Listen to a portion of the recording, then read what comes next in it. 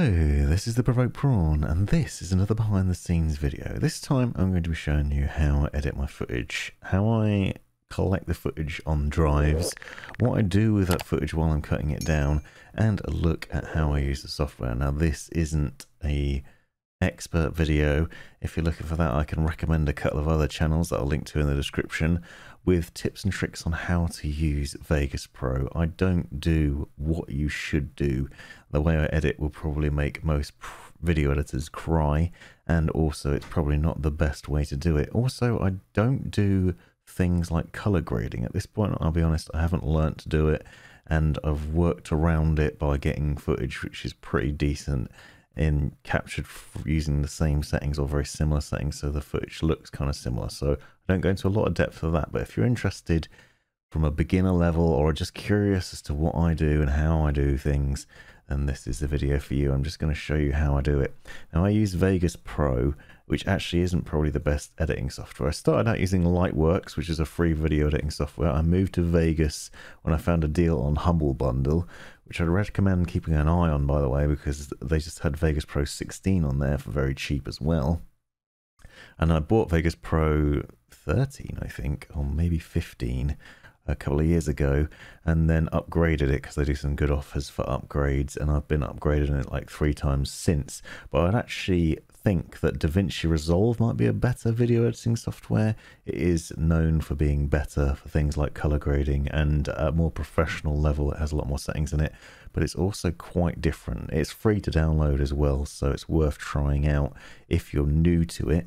And I want to get into DaVinci Resolve, but it's quite a bit more complicated, so it's on my sort of to-do list to learn that. But for the moment, I'm using Vegas Pro, and I've kind of made the mindset, and I have my sort of streamlined technique for optimizing videos. So my initial way I start out with things is a template. So I've got a template set up which basically has, as you can see here, the introduction sort of animation to encourage people to subscribe, one for like, another one for my Twitch channel, for my Discord, for encouraging people to join and then to say thank you to the members, which again, thank you very much for joining to all my favorite people, and I'll talk a bit more about that later on. And I have this set up as a template so that I can open it up, put in my clips, and then it's just there every time, and I don't have to mess about with it. So it's just basically called template .veg, which is the name of the files that we save here. I'm not going to go into a great deal of depth on the intricacies of Vegas Pro. That's not the intention of this video, more just to show you what I do. Now, when I'm capturing footage, as I showed in previous behind the videos, I actually have multiple cameras set up. I usually use three cameras. In this case, I only use two for the HP Omen Vector.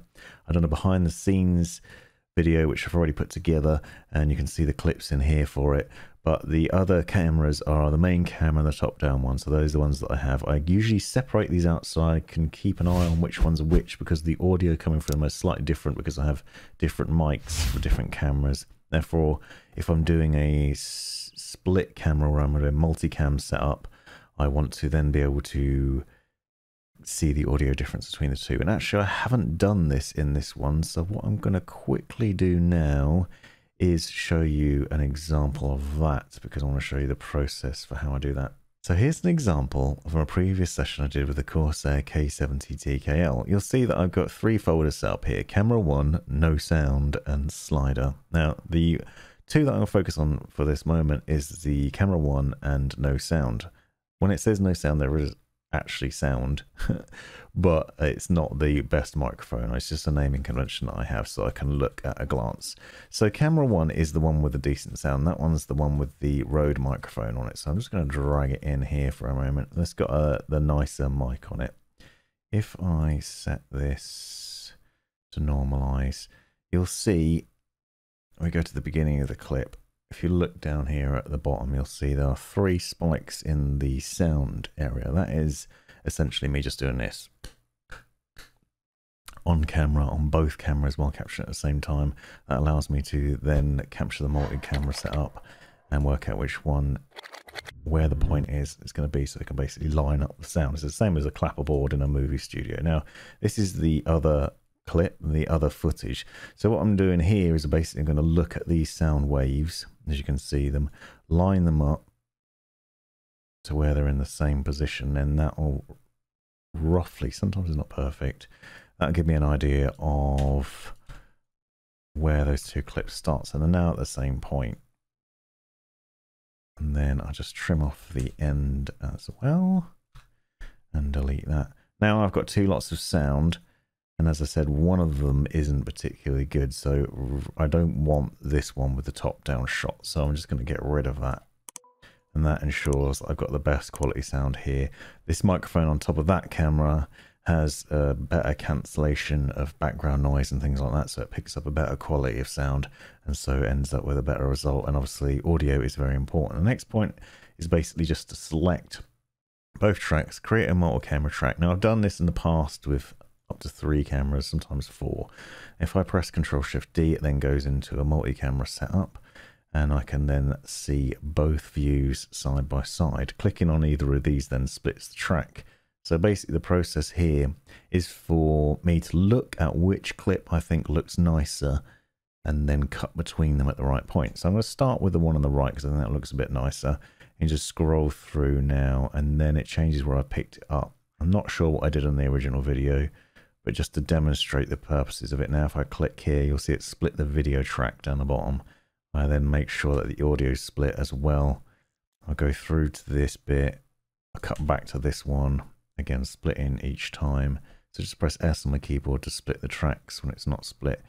Now what you'll notice here is actually there's a cut. This is a slightly more complicated one because I actually realized I wanted to highlight to myself and to the viewers that the back of the keyboard shows that the key switch setup on this keyboard. So I'm going to cut it here and then actually when I get to the proper editing of it, I'm going to cut again. But I'll just show you that I'm going to get to about here. Switch this one, cut that one. Now what I can do is I can just delete this and that'll kill off both those parts of that track because I don't need to see it. So now it'll switch from this bit on the right hand side. It'll immediately switch to the one on the left showing the key switch setup. So I've already sort of pre-edited that bit. Now cut again because both of them, one's blurry and the other one's not great. Now we to switch back to this one. Cut between that. I'm just going to quickly blast through this. So I open up, got the knife out, cut through the first bit, cut here. This obviously gets a bit more tricky when you've got three cameras going, but I do plan on going back to having three cameras at some point because I think that led to the nicest shot. And actually having multiple cameras has made life a bit easier in some ways because it means that I can position the cameras in multiple positions. And sometimes the problem you have is you open something up and the position you got your camera in actually isn't that great.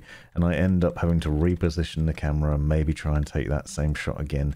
And it becomes quite tricky to pull that off. And so having several cameras set up means that sometimes you can accidentally capture a shot that you didn't necessarily mean to and therefore have a better angle. Or if something goes wrong with one of the cameras, like a knock into it or something falls over or some other disaster that inevitably happens, then I can uh, have some sort of backup footage for that and it's not a problem.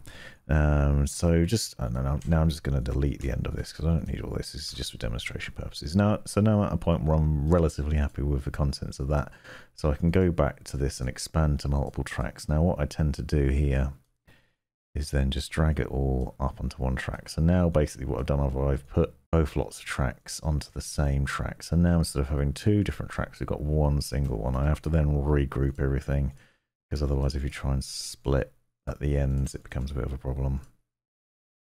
So just quickly blast through this. And then basically what I've done is I've combined two tracks into one and two different angles where it switches between them. And hopefully it will look nice. And usually to sanity check these things, go through and at a faster speed, just quickly blast through it. So I'll just show you that in a second. Just get this final grouping done. Now, so we turn off multi-camera view and then you basically, I just drag the timeline through and see if I'm happy with it and if there's any bits that I want to delete. So for example, you can see this one here this clip here, I notice certain things while I'm doing it. Sometimes I make a mental note of it. And as I said in a previous video, I actually end up going back through footage multiple times in many cases. But what I'm not really happy with here is sort of angle of it. The keyboard's at a weird angle. So I'm just going to crop it in slightly and adjust it until it looks like it's straight. and matching up with the lines. So that looks a lot nicer now. But if I end up going back to that clip, I'm going to need to make back to that camera at that angle. I need to make sure that I use the same thing. Now here's the clip that I made where I went to that key switch and then obviously I've got a blurry clip. So now I can just delete that out and it's still keeping the audio in the right place. Now again, this is a slightly wonky clip, but one of the good things you can do is just copy it and then I can paste event attributes in. Now suddenly it's got the same sort of position and cropping to it. And so it gets it back, back in a better position. But you can see this is looking pretty good now.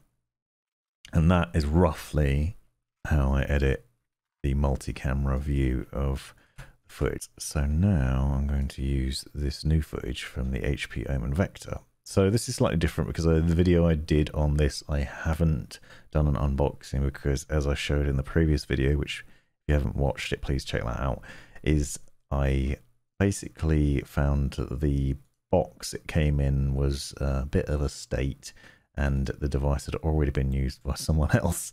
So it wasn't a great end result. And so what I went about doing was trying to capture footage with one camera and trying to make it look interesting, which I demonstrated in that previous video. So I'm not going to focus that on that here. What instead I'm going to do is get a lot of this other footage and drop it onto the timeline. Now I usually like to basically take all the footage on there that I've captured and put it all on the timeline immediately. And the reason I do this is because for the most part, I've already sort of worked out the logic to what I'm doing, as in sort of the setup for the video while I was capturing it. So it's actually generally this footage is in the right order, and it's going to be different slightly if I've got another bit of footage. You can see here, for example, I've got some other footage that I'm going to need to drag in. This will become clear in a minute, but so basically I'm putting this all in the same place. And then I do basically a rough edit, which is I work out what sort of footage I've got, whether I've got too much of it, whether it ever needs deleting, and also tidy it up. So now I'm going to quickly save it so I don't ruin my template. I'm going to save it as HP vector. Now I usually actually have multiple files. So I'm going to save this as HP Omen vector to start with and go into editing it. one of the first things that I do, and I talked about this previously, is each of the clips that I create is roughly 10 seconds long for the most part, with the exception of the slider footage, which is often a bit longer, some of the panning footage and other bits. But what I try to do is capture about 10 seconds of footage. And the reason that I do that is because there are several reasons why.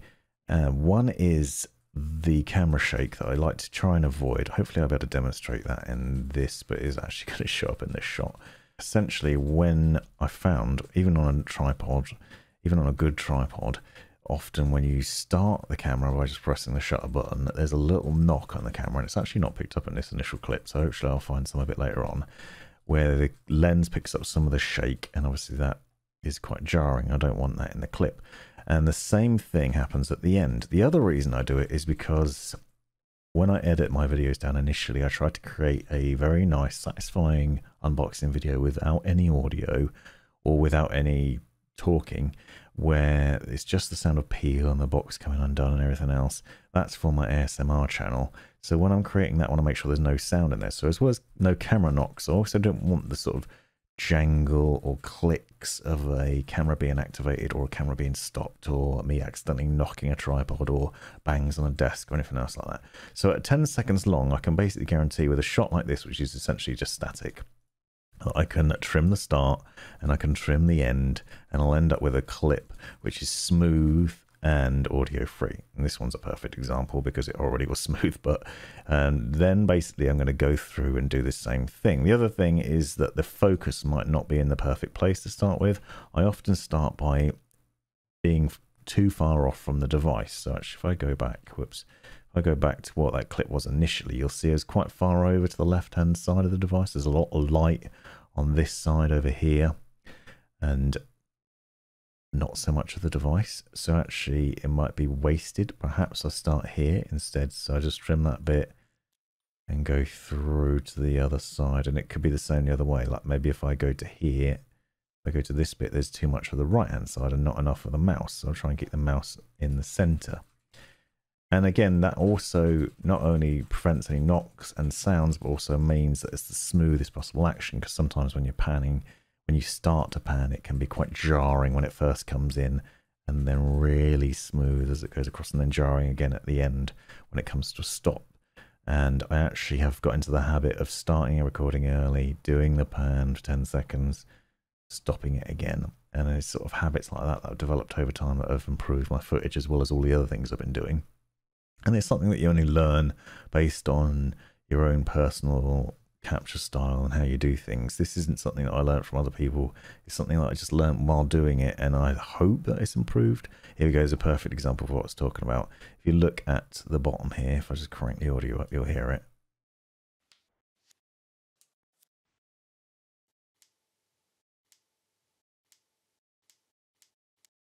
There's a slap. I'm not even sure what that is. It might be picking up the knife or something. And it could be anything really just in the background. So what I'm going to do is just, you have options here. I could just reduce the gain and take that off entirely.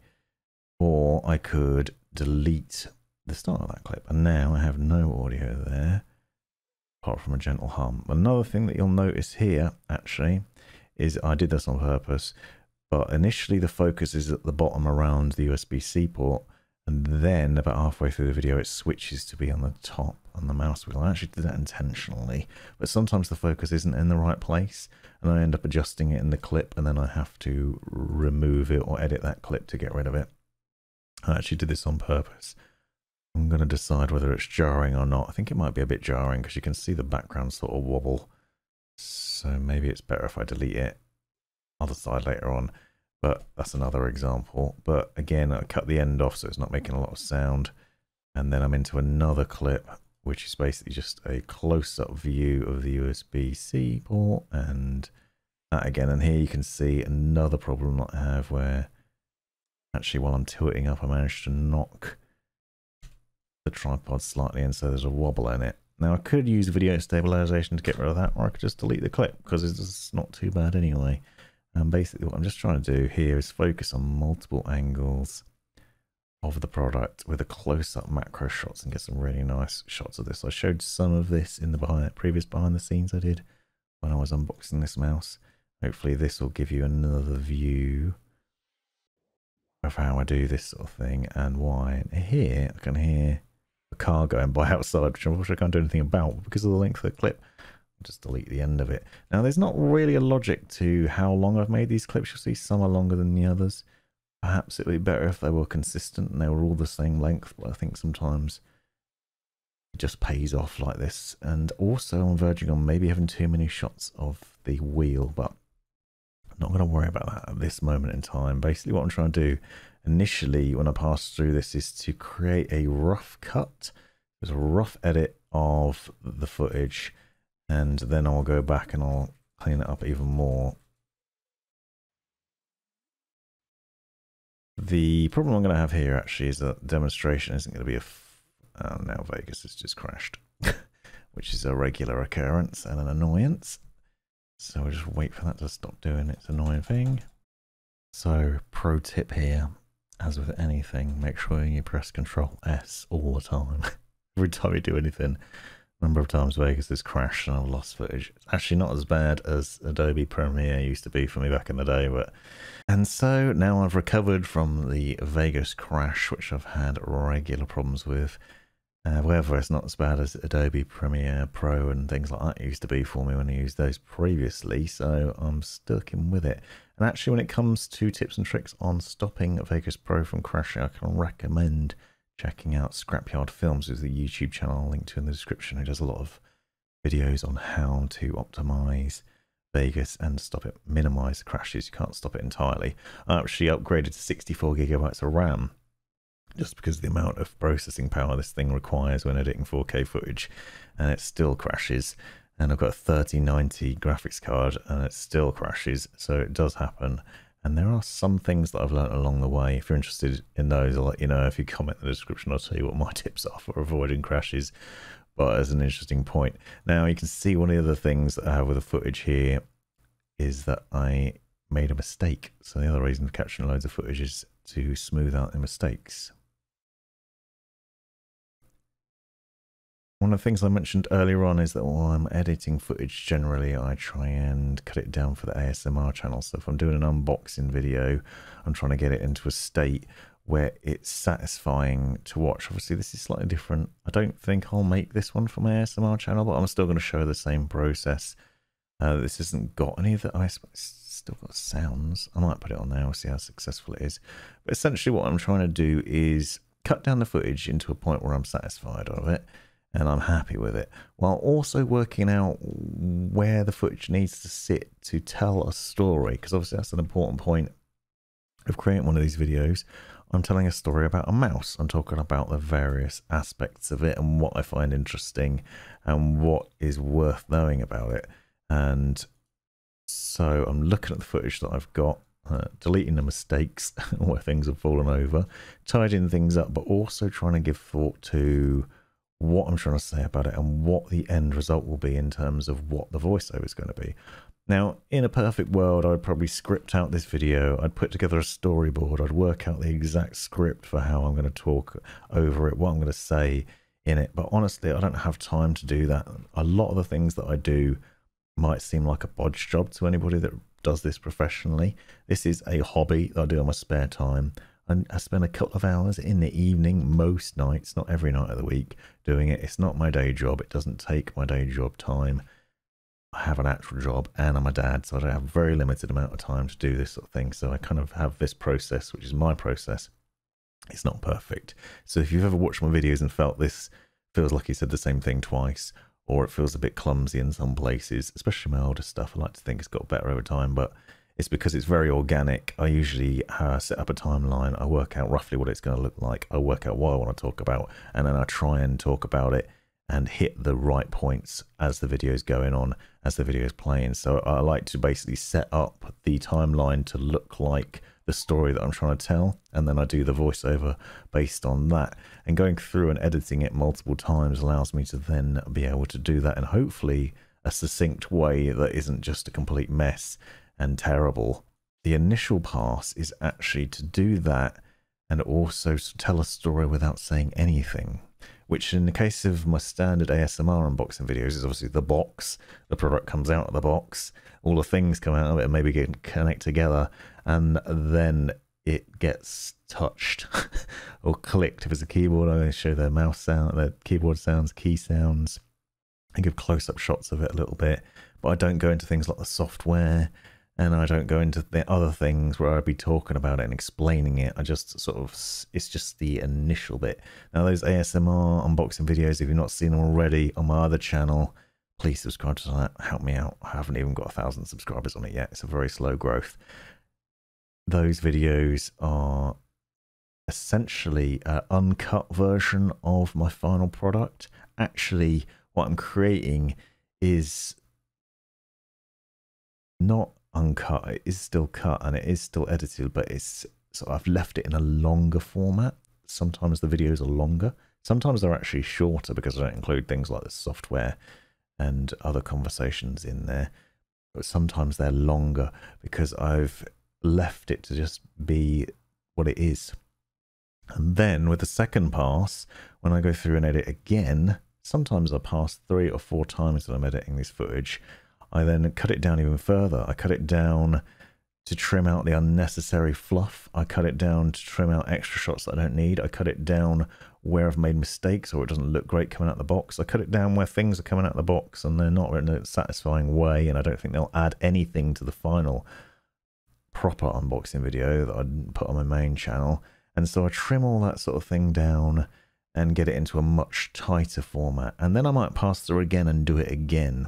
And then if you've been paying attention to either of those videos, if you've ever watched both videos, which is probably a good way to see the difference between them, if you've watched the full version on my main channel and the ASMR version on the other channel, what you'll see is a difference as well as that I usually take a really nice shot, something like this one here, where it's a sort of smooth panning motion, or one of the slider shots. I take like two or three of them put them at the beginning of the video, and then I start the unboxing video. Whereas with the ASMR ones, it's usually straight into the unboxing. Here's the box, and then everything just comes out. But with the other ones, I sort of like to tease what's going to come at the end. So a great example of that would be like with the Corsair 5000D unboxing that I did and the setup of that. That was a 50 minute video, but at the beginning I showed off what it was going to look like. And then obviously that comes at the end as well. But I take some of the end footage and I put it at the beginning. And so I end up getting a lot more clips, but I use them as a teaser. Like, here's what you're going to see. Because obviously you need to keep people hooked. Here's what you're going to see. This is what I'm going to cover. Boom, this is all that happens. And then I go into the unboxing. And hopefully people like it. Um, not as many people as I'd like, but everyone's got to start somewhere. And then I'll just go into that in a bit more depth and just go through and hopefully make it look nice. So uh, a point here, for example, is on looking at this footage of me clicking the mouse buttons and, and maybe that's a bit too long. So for the ASMR one, I'd probably leave that as it is because people really like the sound of that. But actually for the proper unboxing, I'll probably end up cutting that down, making it shorter. So basically what I'm doing now is I'm just going through and treating it as I would normally the ASMR version. I'm going to get it into a position where I'm pretty satisfied with it. And then I'll go through and make another pass. Now I'm not going to finalize the video here. I'm basically going to show you roughly what I would do there. Again, there's another bit where there's some unnecessary sound. I could just delete the audio, but I tend to prefer to leave it in where possible if it makes sense to do so. The other thing I need to, that you need to bear in mind, I quickly go through and edit it this way. An actual better way of doing it would probably be to watch this clip back because I'm obviously watching at a lot faster speed. Because if you watch it back now, this is a lot slower. This is a lot more satisfying in my mind. Although I am looking at it thinking I'm a bit annoyed at the desk because this shot here is a bit too blurry. So what I might do is actually just crop it up a little bit. Try and lift it up a bit so you can, that looks much nicer but actually what I've got here also is what I was talking about. I start the footage early on the camera so the camera's stationary and it's not moving and then it starts to move and that way there's no jarring effects. But if I trim the start of that now, this should be a much smoother shot. So I don't actually have that sort of initial bit where it hasn't started. We've immediately got the motion and I think it looks a bit nicer. Although what I have just noticed is that I've got the top of the frame in. So how to do that. There we go, that's better. So it was actually, I ended up with a black bar at the top there. But you can see the difference, because normally I just go, I scrub through it really fast. Oh, Vegas has crashed again. Believable. In fairness, I'm using OBS to record at the same time as capturing this, so it's probably putting a bit of extra pressure on my system. Let's just have a quick look at that. Oh, okay. Well, it's not showing much, but I was using 24% of uh, 36% on GPU and 24% of my RAMs go into OBS. So there's no wonder Vegas is suffering. Uh, annoying. Back again in a second. So as I was showing, if you scrub through the footage, obviously it makes a big difference to that versus the speed of actual playback. And sometimes I end up perhaps speeding these tracks up. So if I just cold shift and drag it in a bit, I can make that speed up a bit.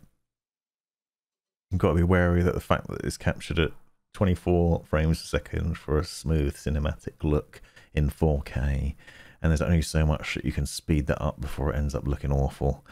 And I could perhaps go for 1080p uh, higher frame rate, but I actually like to get my footage at 4K for the best possible view. So that is how I work. So I'm going to quickly smash through the end of this and then I'm going to demonstrate how I capture the voiceover.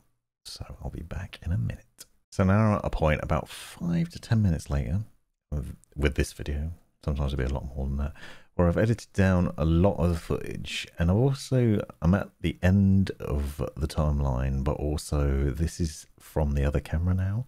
So what I've discovered, for example, is there are a couple of shots like this one where I basically got the cable and I'm showing the cable and how it sits in the mouse and how that clips in and now it's a bit awkward to get in and then what the adapters for that actually don't make sense being at the end. So in terms of the timeline and how I'm going to want to talk about it, I'm going to cut that because I know there was a point earlier on when I was editing it, which is about here, where I've got a couple of clips. So I had that clip that I showed earlier on when I was panning across. I found another one which I put next to it, which is essentially those things together so I can demonstrate close up what they're for and put them together. And now I can put this next one in here, which essentially again demonstrates that it's a USB-C cable and then that plugs into the mouse and that is really awkward and I can remember to talk about that so I sort of have a memory jolt into how to do these things. Another thing I sometimes do is use a marker so you can press M and then you can get a marker and I can put cable problems in here to let me know that there's issues and remind me when I'm going through to actually speak about that generally I've got into the habit of being able to do it without having to use markers anymore, but markers are something I used to use. So perhaps you might find that useful. So now I've got the clips into a position where they're kind of okay. I'm at nine minutes, which is kind of all right. I know that I need to add footage on for the software and also that this is in the sort of state where it's okay for the ASMR channel. So now what I do is I've got that sort of set up the way I'm happy with it and then I create another file which I'll call the unboxing. Generally, it will probably this will probably be the review because it's not really an unboxing. So I'll just call it review. So now I've got two files. So now I've got two files, and one is for the ASMR video, and one is for the full proper uh, unboxing video review video. And I'm going to use those separately. So now what I'm going to do is try and find a shot of the mouse which looks the nicest. And I've got one at the beginning, which is this one, which I think kind of makes it... I've got one here that makes it look a bit nicer. So I'm going to start off with this. And that is essentially the mouse sitting on a Lazy Susan, which is revolving. And I'm going to minimize the audio on that because you don't need to hear the whir of traffic or whatever else in the beginning. And now I have this set up into a position where I'm kind of happy with it. This is not going to be the final product but this is an example of how I do it. So now, just to give you a, just to show you how I do the next stage. Vegas has a option for capturing voiceover within the software. You can click and you can do it. However, I use Audacity. And the reason for that is simply habit uh, for the most part because I used to use other microphones which aren't as good as this one that you can hear here. And they'd capture a lot of background noise. And so for things like normalization and deletion of background audio, the Audacity is fantastic. And what you can do with Audacity is you can easily do things like this. So if I've got an audio clip, I can normalize the level so everything's the same. And then if I know there's a bit of audio that I don't want, you can easily delete it. But if it's permanently there in the background, you can select it. So I've got some sound of me breathing you can actually go into noise reduction, get that as a noise profile, take it off and apply it to everything. And that'll then take that out or at least reduce it. So now it's not quite as uh, visible. And if I do it again, actually, it should probably get rid of it. Now, I don't generally need to do this. You can see you can barely hear that now. I don't generally need to do this for this microphone, but for other mics that I've tested in the past, sometimes I did and for louder rooms that I've been in. So I just find Audacity to be really easy to use and great for capturing sound. So the way I then do the videos is basically to stay, start Audacity off and start recording it. So I set it to record and let it run, make sure that it's capturing audio properly and that I'm using the right sources. And then I start the video. Hello, this is the Provoked Prawn, and this is the HP Omen Vector. This is a wireless mouse from HP, which has some interesting highlights to it. Now, I've done a behind-the-scenes video which shows off how I captured this footage, if you're interested in seeing that. But in this video, I'm going to be showing you close-ups of the mouse, talking about what it's like, hovering the features, highlights, and specifications of it, as well as showing you a number of the nice things that I like about it. One of the lowlights for me actually has been the fact that it was a used mouse. So if you see anything about this mouse that looks out of place, it's probably because someone else had their hands on it. Unfortunately, I would normally do an unboxing video, but I was sent a mouse that had been previously used by someone else and the box was a bit uh, tatty. So the result is this video, which I've created with just close-up shots and obviously me using it. But I have done a review now. I've had this mouse for a while and I've been using it and testing it out. And I'm going to give you my initial impressions of it, what it was like to use, and other highlights to it too. I want to talk to you about various things I really like about it. For example, this is a fairly affordable mouse, but on the face of it, and not particularly full of thrills, it is an HP mouse. And I'll be honest, I wouldn't normally look to HP for gaming peripherals, although they did recently purchase HyperX, I believe, so that should be interesting in the near future. However, this mouse is actually a lot nicer, as you can see from these shots, than you might think. It is a wireless mouse that supports a good battery life. It also has a really nice ergonomic shape to it with this nice textured grip on the side and the thumb rest. Another thing you'll note is a large setup in terms of the thumb buttons, so they're really easy to access. Although I will say that they are very smooth. You can see here how shiny and smooth those are, and that might be a drama when using it. Another thing that I've noted is also the mouse buttons are kind of creaky, and you might hear some of that during use. It's been a bit, it feels a bit hollow and creaky in some ways, which is kind of annoying. Nice highlights to it though is that you can plug the USB dongle, so the wireless dongle, into the bottom of the mouse when not in use. Obviously, when you're charging it up, perhaps you don't want to use that USB port with the dongle plugged in. Maybe you have limited ports on your PC or your laptop. So having somewhere to store the tiny dongle is obviously a bonus. And one of the things about that that's fantastic is that you can just plop it in there and out of the way. And now I've got to a point in the video where I've just realized I'm going to stop it that going through this initial voiceover I could actually do with repositioning some of the footage. So, for example, I could move those bits that I was showing off earlier. So I'll move them over here, pop them in there, and set them up like that. So now instead of then going on to the other bits, I can then talk about the other setup. In the box, we also have USB-C charging cable, which is a braided cable, a adapter which basically lets you plug the USB-C cable into that and then have the dongle on your desk and the mouse itself obviously.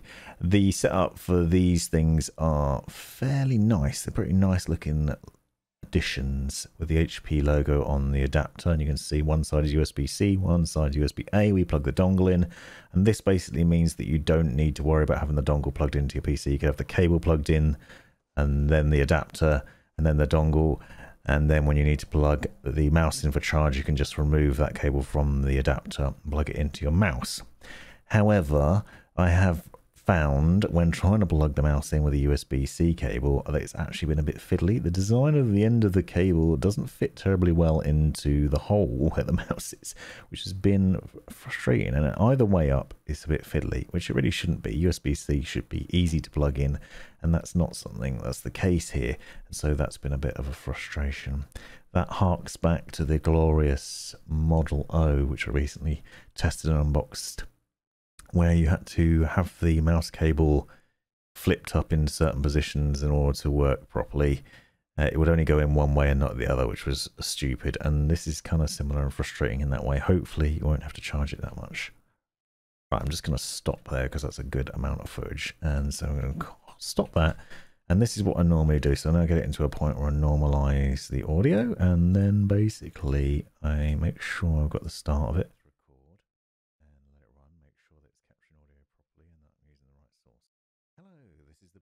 So now, obviously I don't need that beginning bit because that was just for this behind the scenes video. So I select all, export, export as Omen Vector. Export that out, and then I have a voiceovers folder which I open up, and that's the wrong one. Due to a mishap with storage, I end up with two voiceovers folders. Don't ask me why. I need to tidy up my drives, they're a bit of a mess. And so now I've got the audio into the video.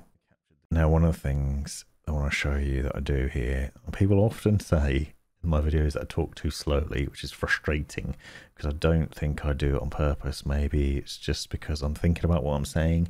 Um, one thing I do do, that I am conscious of, is sometimes I leave a gap or you'll hear that sort of sound in the audio. And I actually go through and delete those and shorten the distance between the points where I'm speaking. So if I zoom right in, you can see down here in this area, there's a gap and I can see another one here.